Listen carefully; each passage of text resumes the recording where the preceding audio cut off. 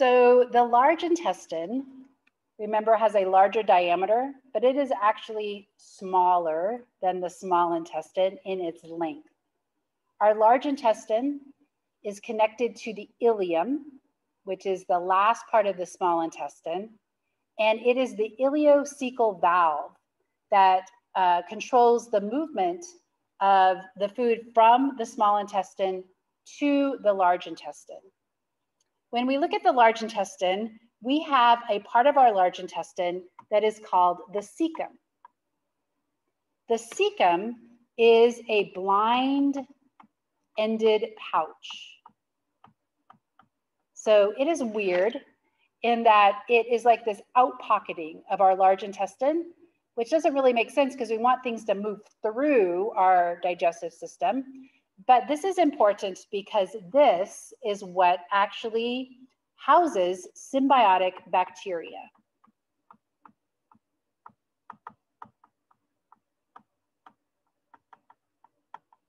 Now, compared to herbivores, we omnivores, humans, we have a much smaller cecum. Some animals that are grazers and they eat plants, they have very large, like a rabbit would have a much larger cecum, right? Because it needs those bacteria to break down the cellulose. We have symbiotic bacteria that are actually important. One uh, strain of E. coli, so an E. coli strain, produces vitamin K, which is actually necessary for blood clotting.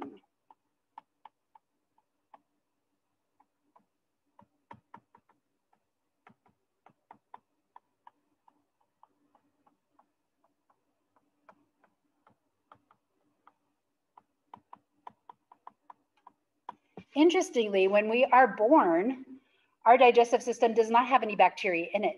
It's actually the act of, of moving through the birth canal and coming out and then interacting with our world that allows these bacteria to colonize our digestive tract. And so when you're born, you don't have these E. coli that produce vitamin K for you. And so oftentimes they give babies a shot of vitamin K. And the reason for this is, is that they're concerned that they might have to do some emergency surgery. And if they do that and there's no vitamin K present, the blood cannot clot. So they give newborn babies a shot of vitamin K for that. So this is actually kind of an acquisition of a trait, right? We have acquired the ability to produce vitamin K because we house this specific strain of E. coli in our large intestine.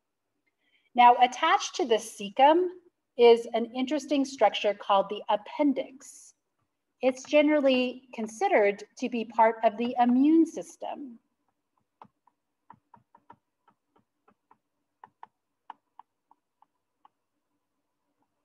So it has an immune function.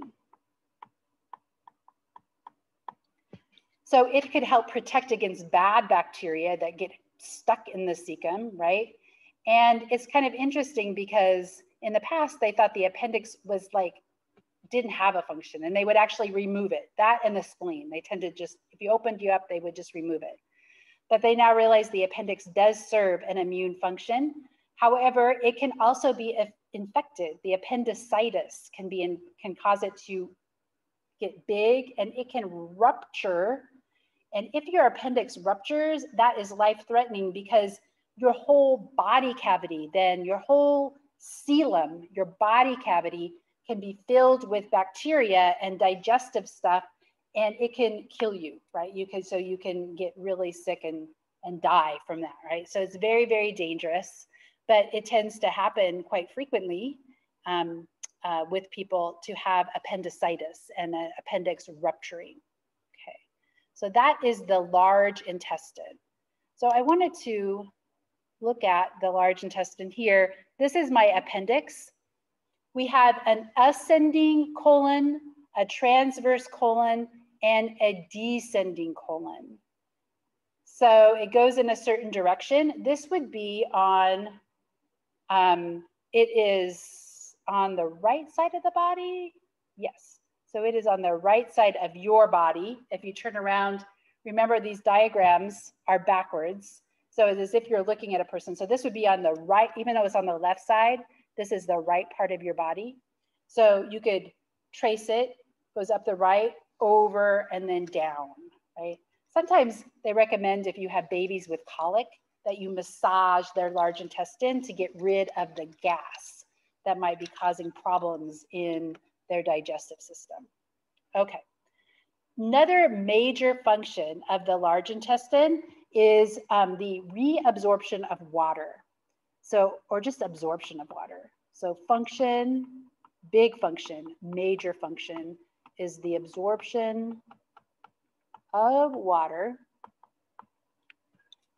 Diarrheal diseases, really bad diarrheal diseases can kill you very fast. Like if you have an infection in your large intestine, like uh, a bacterial infection like Clostridium difficile, C. difficile, it is a bacterial infection that will give you bad diarrhea or um, cholera gives you bad diarrhea. And if you will just dehydrate, like you will just die of dehydration unless you are hooked up to IV fluids, right? But imagine if you, before antibiotics and before IV fluids, if you got this, you would probably just dehydrate and die. So this absorption of water is super important. Um, when we look at the large intestine, this is also where we have the formation of feces. So this is digestive waste. Digestive waste is brown because of the bile typically, and it also contains a lot of bacteria, a lot of bacteria in the feces, and then all the undigestible parts of our diet like fiber. We can't digest cellulose, and so the fiber that we take in just essentially moves through. It helps keep things going through. We want things to move through our digestive tract relatively fast, right? Be very efficient with our digestive system. So that would be the parts that um, we do not digest. And so that would come out of the anus. So that is the end, the very end of the digestive system.